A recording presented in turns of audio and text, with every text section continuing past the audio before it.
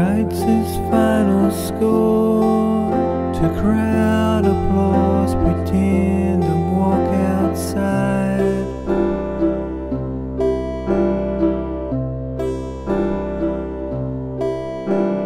A lady sweeps those dirty floors, the empty chairs don't judge.